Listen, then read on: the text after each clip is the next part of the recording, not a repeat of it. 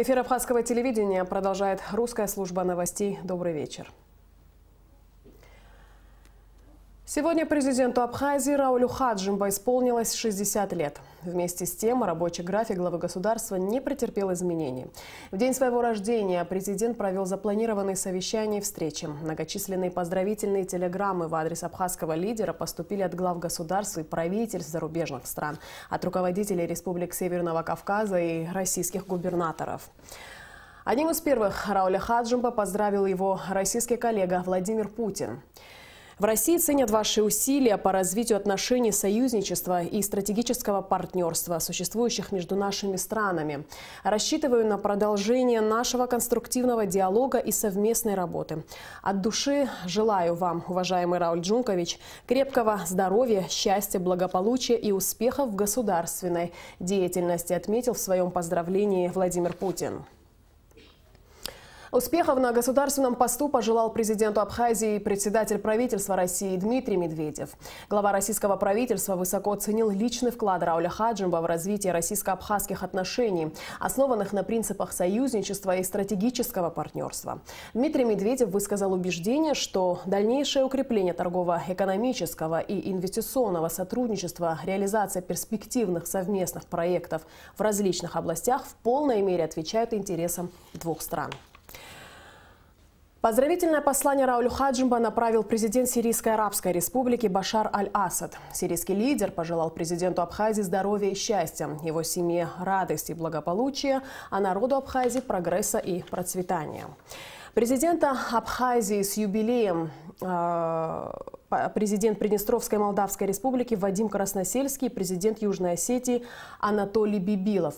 Поздравительные телеграммы прислали председатель Совета Федерации Федерального собрания Российской Федерации Валентина Матвиенко, чрезвычайный и полномочный посол России в Абхазии Семен Григорьев, секретарь Совета Безопасности Российской Федерации Николай Патрушев. Не остались в стороне и руководители российских регионов. Рауля Хаджимба поздравили главы Адыгеи Мурат Кумпилов, Карачаева-Черкесии Рашид Тимрезов, Кабардино Балкарии Юрий Коков, президент Татарстана Рустам Миниханов и многие другие. С юбилеем поздравили президента и абхазские политики. Так, спикер Валерий Кварча поздравил главу исполнительной власти от имени Народного собрания. Он выразил уверенность в том, что деятельность Рауля Хаджимба на посту президента Абхазии и в дальнейшем будет способствовать динамике развития законотворческой деятельности и государственного строительства, расширению связи и углублению взаимовыгодного сотрудничества с другими государствами мира. Политсовет Республиканской политической партии «Форум народного единства Абхазии» поздравил президента с юбилеем. Весом ваш вклад в обеспечение значительных достижений в различных сферах внутренней и внешней политики. Немало трудностей предстоит преодолеть на пути развития и роста нашего государства, говорится в частности в поздравительном тексте. Плодотворной работы на высоком государственном посту пожелали президенту общественной организации ветеранов Отечественной войны народа Абхазии Аруа и Аббаш, Общественная палата Абхазии и другие политические и общественные организации страны. Юбилею главы государства и мы подготовили небольшой материал о наиболее заметных, на наш взгляд, изменениях в стране. В 2014 году большинство граждан нашей страны отдали свои голоса Раулю Джунковичу. Прошло 4 года, и, как говорит сам президент, сделано немало, но предстоит сделать еще больше. Еще во время своей предвыборной кампании Рауль Хаджимба говорил о необходимости реформ в нашей стране. Так что же сделано и что предстоит сделать? Об этом материал подготовленный нашими корреспондентами. О необходимости создания Конституционного суда в Абхазии стали говорить еще в 2004 году, когда в стране произошел первый серьезный политический кризис. Но несмотря на готовность к преобразованиям, на разговоры ушло более 10 лет. И только в 2014 году в основной закон страны были внесены поправки, предусматривающие создание Конституционного суда. Что касается его формирования, то на это ушло еще 4 года. Только в этом году Конституционный суд наконец был сформирован. На этом примере очень хорошо заметна конфликт конфронтация в нашем обществе, и понятно, почему жизненно важные для нормального функционирования государства вопросы решаются с таким трудом. Реформирование судебной системы было продолжено. На момент образования службы судебных приставов более двух с половиной тысяч судебных дел, по которым были вынесены решения, ждали исполнения. С мая 2017 года исполнено 522 судебных решения. Государству возвращено кредитов и взыскано штрафов на сумму 5 миллионов 703 тысячи 425 рублей. В прошлом году впервые в истории современного абхазского государства было принято и исполнено решение о сносе незаконной постройки в Пицунде, а в декабре 2017 года была снесена незаконная постройка в Сухуме. Решение о замене паспорта гражданина Абхазии старого образца было принято в 2014 году. Старые бланки не имели достаточной степени защиты и были действительно только на территории Абхазии. Новые паспорта имеют высокую степень защиты и соответствуют международным стандартам защиты подобных документов. И что очень удобно, по этим паспортам граждане Абхазии могут беспрепятственно пересекать абхазо-российскую границу. В конце 2016 года было принято решение о закрытии четырех пунктов пропуска на границе с Грузией. Это позволило привести режим пересечения государственной границы в соответствии с международными стандартами, а также способствовало улучшению криминогенной обстановки в районе. В 2016 году с официального введения казначейства в Абхазии началось реформирование финансовой системы. С тех пор передвижение бюджетных средств стало абсолютно прозрачным, и теперь каждый государственный рубль мог быть потрачен только по назначению. Серьезные преобразования произошли и в банковской сфере Абхазии. Работа Национального банка стала более эффективной. Число выпущенных карт АПРА до 2014 года составляет 1387, а за прошедшие три года более 80 тысяч. Возросло число потребительских кредитов физическим лицам. Если ранее это число составляло 4892, то сейчас оно выросло до 17 828. В разы увеличились отчисления в бюджет части прибыли Нацбанка. Если в предыдущие годы не отчислялось ни рубля, то за последние три года в бюджет страны отчислено более 22 миллионов рублей. За последние годы почти в два раза увеличилась доля собственных доходов в бюджет нашей страны. Это стало возможным благодаря более жесткому контролю деятельности многих государственных объектов. Например, значительно увеличилось поступление в бюджет доходов от Рицинского реликтового парка. Заповедник перечисляет бюджет более 200 миллионов рублей против 50, которые были ранее трудом, но все же продвигается процесс реформирования налогового законодательства. В частности, в парламенте создана рабочая группа, которая будет заниматься его пересмотром. Возможно, в этом году этот процесс будет завершен и будут приняты решения, выгодные и бизнесу, и государству. Заметно, что страна медленно, но все-таки движется по пути развития, но проблем в Абхазии по-прежнему немало. О первоочередных задачах и приоритетных направлениях развития Абхазии в ближайшем будущем четко и конкретно говорил Рауль Хаджимов в послании парламенту. В частности, глава государства подчеркнул необходимость реформирования всей правоохранительной системы. Система управления правоохранительных органов громоздка и неэффективна. Поручаю Министерству внутренних дел во взаимодействии с другими правоохранительными органами, депутатами и общественностью разработать и представить в парламент проект нового закона о милиции. Новый закон должен обеспечить более надежную защиту прав граждан, их собственности, интересов общества и государства – способствовать формированию в общественном создании нового облика сотрудника милиции. Вступлением в силу нового трудового кодекса разрабатываются нормативные документы в области занятости, безопасности и охраны труда. Государством выполняются обязательства по выполнению пенсионного обеспечения. Инвалидам первой группы Отечественной войны содержание повышено в два раза и составляет 20 тысяч рублей. Введены доплаты пенсионерам, находящимся на пенсионном обеспечении госбюджета республики. С 2015 года им начисляются доплаты на сумму до 1000 рублей. Ежемесячные пособия на каждого ребенка в многодетных семьях, где более шести детей, увеличены в два раза. Президент поставил задачу разработать концепцию совершенствования системы пенсионного и социального обеспечения. Последовательный переход на страховые принципы пенсионной системы будет иметь самые благоприятные последствия для каждого пенсионера. Определение размера пенсии будет более справедливым и сбалансированным, а оптимизация финансирования пенсий – позволит в дальнейшем повысить размеры данных социальных выплат. Новая система выведет из тени доходы граждан, так как лица, не достигшие пенсионного возраста, будут заинтересованы показывать свои доходы, получать белую зарплату, ведь только в этом случае будут осуществляться страховые отчисления. Конечно, все мы хотим начать жить лучше прямо сейчас. Процесс реформирования не так прост, и чтобы реформы работали, нужно в первую очередь хотеть и не бояться что-то изменить. Если все поставленные задачи в послании президента будут выполнены, несомненно, это отразится на жизни граждан Абхазии. Для тех, кто работает, время летит незаметно. Четыре года прошли для кого-то быстро, для кого-то не очень. Есть конкретные результаты, которыми можно гордиться, но и есть еще много проблем, решение которых ждет наш многострадальный народ. Как часто отмечает Рауль Хаджумба, существующие в обществе расхождения по политическим позициям не должны становиться основой или поводом для экстремальных форм политической борьбы, которая в конечном счете негативно отражается на жизнедеятельности государства. Чтобы наша страна стала сильной и экономически развитой, усилий одного человека недостаточно. Здесь нужна совместная работа и поддержка, а также непреодолимое желание сделать жизнь своих сограждан лучше. Ирина Аршба, Абхазское телевидение. К другим темам. Организация обязательного медицинского страхования граждан Российской Федерации, постоянно проживающих в Абхазии, перечень наркотических и психотропных веществ, подлежащих контролю в стране и ряд других решений принял сегодня на очередном заседании Кабинет министров республики. Репортаж Али Китрапш. На заседании Кабинета министров были представлены и утверждены 14 новых целевых ведомственных программ Министерства здравоохранения Абхазии, которые направлены на оказание неотложной специализированной медицинской помощи.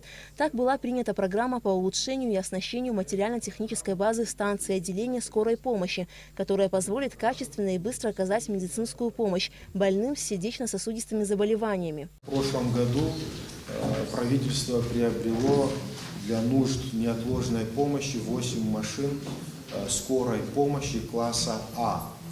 Э, в этом году мы планируем оснастить эти машины необходимым э, диагностическим лечебным оборудованием, в том числе электрокардиографом с программным телемедицинским обеспечением.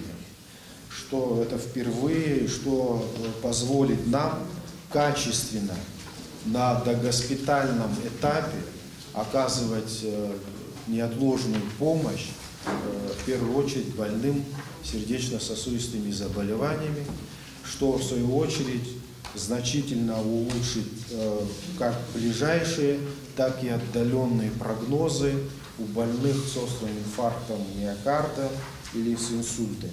Поэтому мы считаем эту программу очень важной.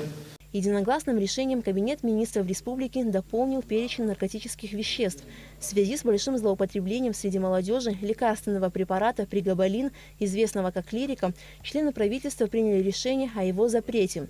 Кабинет министров утвердил еще одну программу об организации обязательного медицинского страхования граждан Российской Федерации, постоянно проживающих в Абхазии. На ее реализацию выделено 5 миллионов 100 тысяч рублей.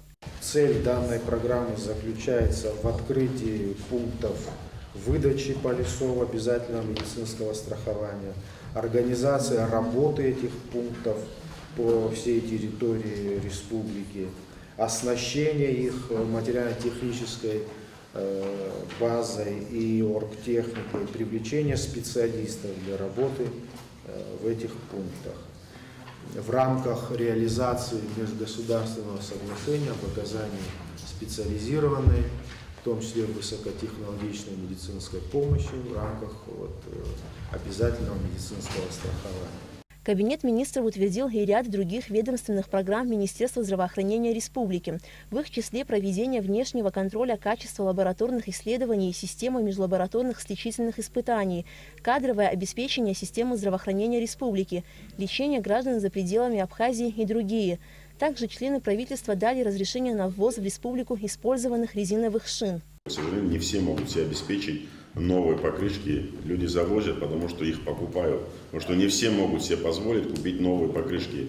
Ценовая разница да, в разы. Бэушная покрышка с износом 20-30%, которая может еще послужить какое-то время. И люди покупают эти покрышки, пока есть высокий спрос. Когда у нас будет возможность всем покупать новые покрышки, наверное, мы откажемся от такой практики. Постановлением Кабинета министров внесены изменения в программу инвентаризации недвижимых объектов историко-культурного наследия Абхазии. Часть работ по изучению и инвентаризации объектов, запланированных на 2017 год, перенесена на 2018. Инвентаризация должна быть завершена в конце текущего года составлением полного реестра объектов историко-культурного наследия. На заседании правительства было принято решение о внесении изменений в постановление Кабинета министров о порядке оформления разграничения государственной собственности и формирования реестра собственности, согласно которым пять объектов в Сухумском, Гулрыбском и Ткарчалском районах переведены в муниципальную собственность. Алика Трапш, Астамур Гожба, Абхазское телевидение. Манана Делба избрана председателем Верховного суда Абхазии на очередном заседании сессии Народного собрания. Также были избраны председатель контрольной палаты и уполномоченный по правам человека. Кроме того, депутаты сделали заявление по поводу перевода из категории в категорию земельных участков. Подробности в репортаже Ирины Аршба. Депутаты Народного собрания рассмотрели 12 вопросов повестки дня очередного заседания сессии парламента. Кроме того, в начале заседания депутаты включили еще два вопроса. Было рассмотрено четыре кадровых вопроса. Путем тайного голосования избраны председатель Верховного суда, председатель контрольной палаты и уполномоченный по правам человека. Кандидатуру Мананы Делба на должность председателя Верховного суда представил представитель президента в парламенте Дмитрий Шамба, который отметил, что ее кандидатура соответствует всем необходимым требованиям. Кандидатуру Мананы Делба поддержал и председатель Комитета по правовой политике Валерий Агарба. В итоге Манана Делба была единогласно избрана председателем Верховного суда Абхазии. Ей также присвоен высший квалификационный чин. Первый квалификационный класс Манани Делба был присвоен еще в 2010 году. В сентябре 2015 года она была назначена судьей арбитражного суда Абхазии, а с 2017 года вошла в судейский состав Верховного суда. За продление полномочий председателя контрольной палаты Роберта Роберта Аршба из 30 присутствовавших депутатов 25 проголосовали «за» и трое «против». На должность уполномоченного по правам человека претендовали двое – Асида Шакрыл и Одиссей Беглава. В итоге большинством голосов новым омбудсменом Абхазии избрана Асида Шакрыл. Вступая в должность уполномоченного по правам человека в Республике Абхазия, торжественно клянусь защищать права и свободы человека и гражданина, честно, беспристрастно и добросовестно исполнять свои обязанности – руководствуясь Конституцией и законами Республики Абхазия, справедливостью и голосом совести. Во втором окончательном чтении депутаты приняли проект закона о внесении изменений в закон о государственной пошлине. Законопроект устанавливает максимальный предел госпошлины с исковых заявлений имущественного характера при оценке иска свыше 500 тысяч рублей. Размер пошлины не должен превышать 100 тысяч рублей. В закон о статистической деятельности также внесены изменения. Теперь за присвоение статистических кодов будет взиматься плата, размер которой устанавливает Кабинет министров. Эти средства будут зачисляться в бюджет в стопроцентном размере. Поправка принята в первом окончательном чтении. Изменения, которые мы сейчас вносим, э, устранит существующего в указанной сфере правового э, регулирования э, законодательного пробела. То есть за присвоение кодов в законе будет уже четко прописано, что э, за присвоение кода взимается плата, которая поступает в бюджет. Внесены изменения в закон о порядке выезда и въезда в Республику Абхазия и в закон о правовом положении в Республике иностранных граждан. Положение настоящего закона в части, касающейся применения иностранными гражданами и лицами без гражданства миграционной карты вступает в силу с 1 июня 2018 года, за исключением граждан Российской Федерации – Положение настоящего закона в части, касающейся применения гражданами Российской Федерации миграционной карты, вступает в силу с 1 января 2021 года. Поправка направлена на легализацию нахождения на территории Абхазии иностранных граждан, прибывающих в нашу страну в целях осуществления трудовой деятельности. Теперь эти граждане смогут напрямую, минуя посредников, обращаться в государственную миграционную службу.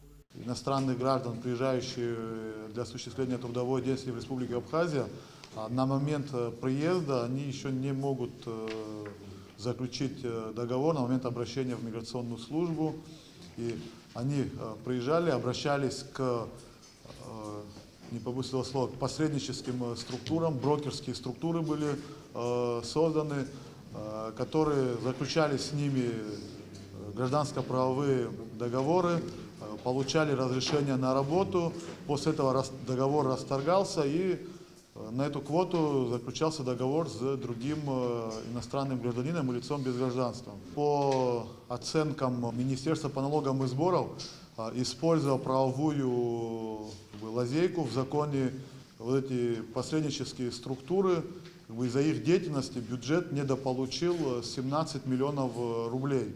В итоге законопроект был принят в третьем окончательном чтении. Остальные вопросы повестки дня касались приватизации объектов госсобственности и перевода земельных участков из категории в категорию. После долгого обсуждения депутаты приняли решение отложить рассмотрение этих вопросов. Сельское хозяйство наряду с туризмом является приоритетным перспективным направлением для нашей страны. Считаю необходимым отразить рассмотрение вопрос перевода сельскохозяйственных земель исключительно для целей строительства коммуникаций, инфраструктуры, жизнеобеспечения, строительства промышленных объектов, объектов обороны, объектов социальной инфраструктуры, иных объектов и цели, имеющие особо важное значение для страны и районов. А в отношении земель, расположенных в 500-метровой зоны, считаю необходимо как-то провести зонирование и считаю целесообразным рассматривать их э, использование преимущественно в рекреационных целях. Проект постановления будет представлен на рассмотрение депутатов уже к следующему заседанию сессии парламента. Ирина Аршба, Бестан Джинджал, Леон Адлиба, Абхазское телевидение. В подразделениях Министерства обороны Абхазии продолжаются занятия по боевой и морально-психологической подготовке военнослужащих. В рамках учений уже второй день проходят командно-штабные мобилизационные занятия с третьим отдельным горно-стрелковым батальоном и военными комиссариатами.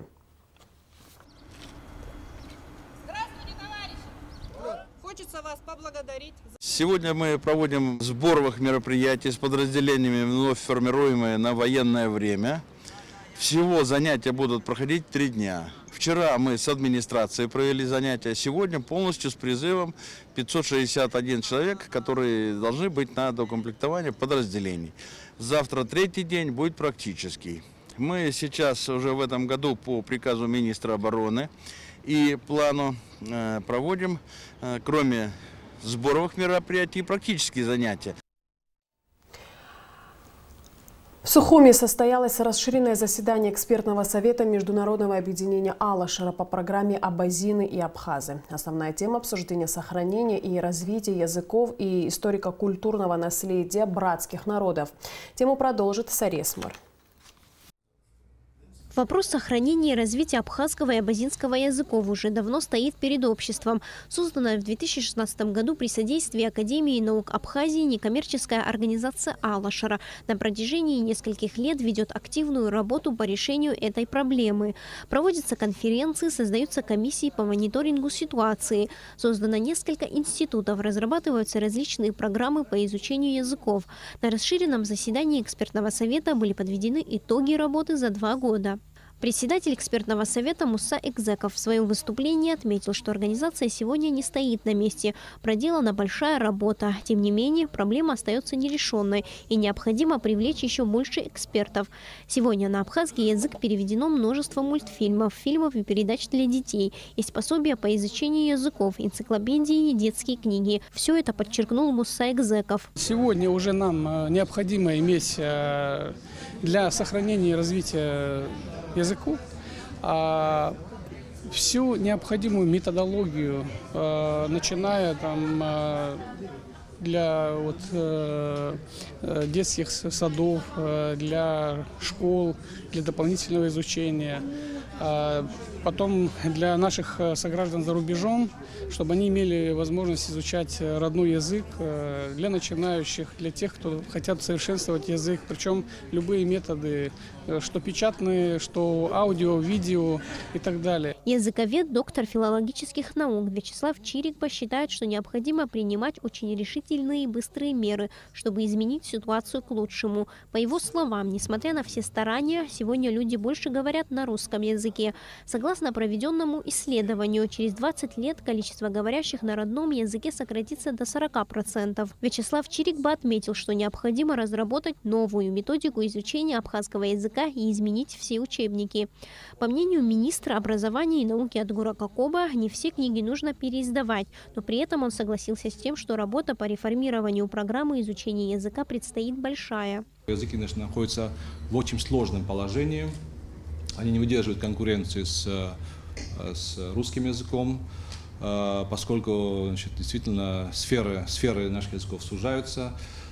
как в Карачаево-Черкесии, так и в Абхазии. Надо поднять престиж языка. И целью конечной нашей программы является, несомненно, создание новой методики преподавания абхазского языка. Это общая, абхаз, общая, общая задача, общая национальная задача и изменение всех учебников. Всех буквально учебников, нужно просто их новые, создать новые учебники. На основе старых, но все-таки обновить их коренным образом. Мнения членов экспертного совета разделились. Часть экспертов отмечала, что необходимо создать новую программу развития языка. Другие уверены, что программа, по которой сегодня работает экспертное сообщество, уже через несколько лет даст видимые результаты. Сария Смыр, Беслан Ченджерия, Абхазское телевидение. Заседание экспертного совета продолжилось во второй половине дня. К экспертам присоединились гости Северного Кавказа, которые рассказали о работе общественной ассоциации «Апсадгил», созданной в Карачаево-Черкесии менее года назад. Ассоциация сегодня активно работает, развивается и успешно сотрудничает с общественной организацией «Алашара».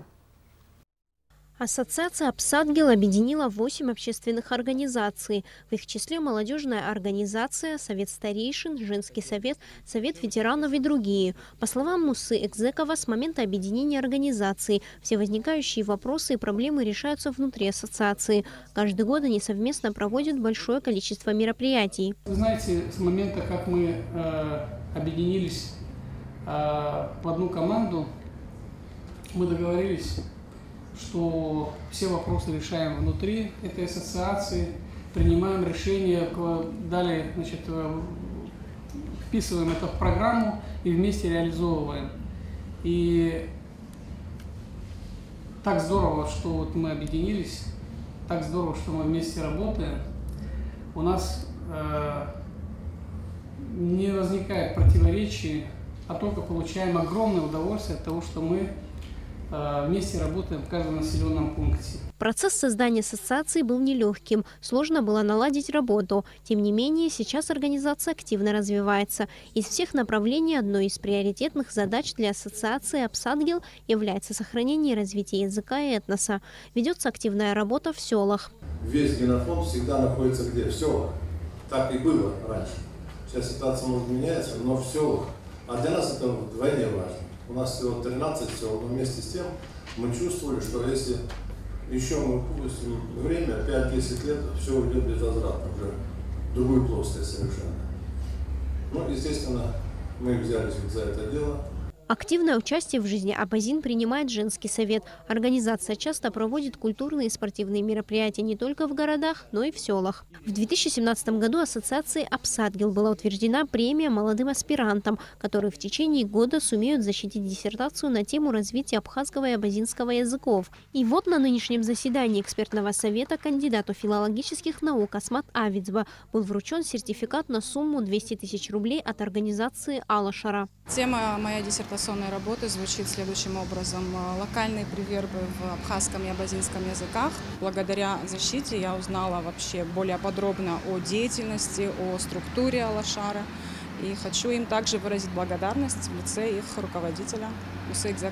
На заседании также выступил председатель Совета старейшин Абхазии Аполлон Шинкуба. Он отметил, что сегодня ассоциация Абсадгил находится на правильном пути развития языка и культуры. В ходе заседания было отмечено, что в Абхазии много общественных организаций, которые могли бы перенять опыт у своих коллег. Сария Смыра, Стамур Абхазское телевидение. 22 марта в Сухуми состоится очередное заседание седьмого съезда Всемирного Абхазо-Базинского конгресса.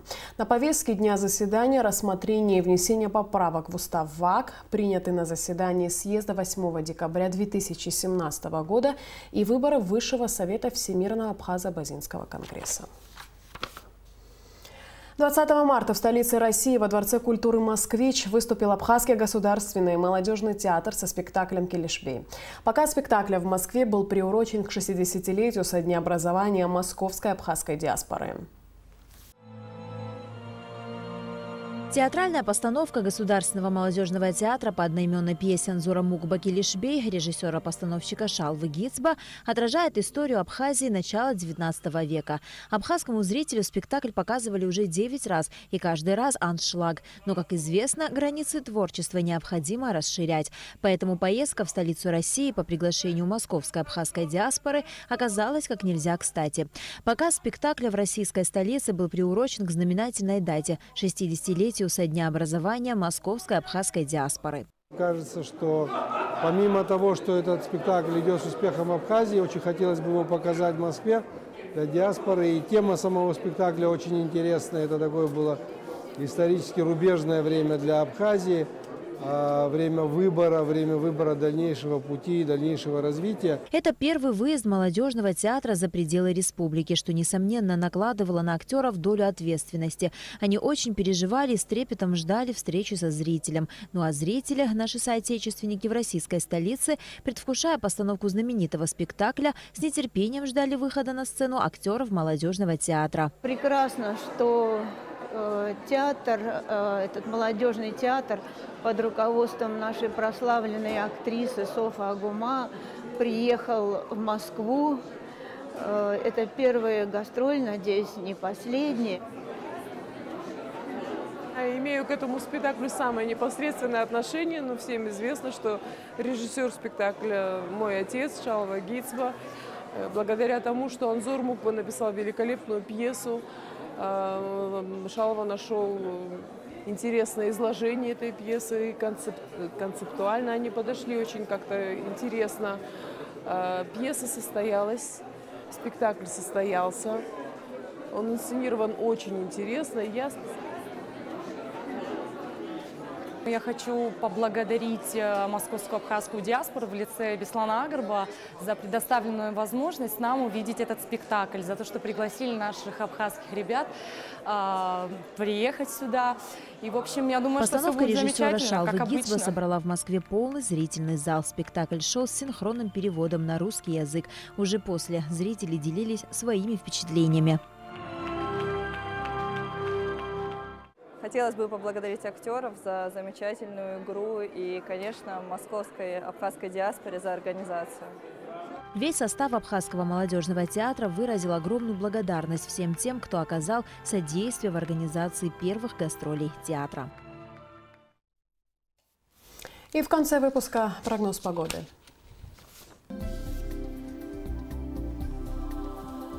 По сообщению гидромедцентра, завтра в Абхазии ожидается переменная облачность. Ночью и утром без осадков, а во второй половине дня кратковременный дождь, местами туман. Температура воздуха ночью плюс 8-13, днем 14-19 тепла. Температура морской воды плюс 11. На этом наш выпуск завершен. Всего доброго и до встречи в эфире.